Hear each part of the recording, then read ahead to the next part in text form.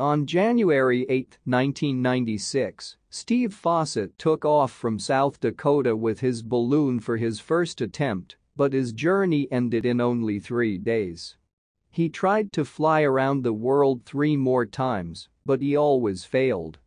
On March 20, 1999, Bertrand Piccard and Brian Jones were able to fly non-stop around the world in a balloon. Their journey was 20 days long. Steve Fossett said that he wanted to be the first person who could do the same as a single pilot.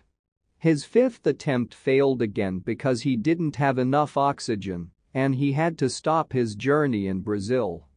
In 2002, the sixth attempt came and this attempt was successful.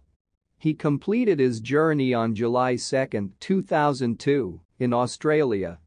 The landing was very difficult, but Fossett survived it, like many of his earlier adventures.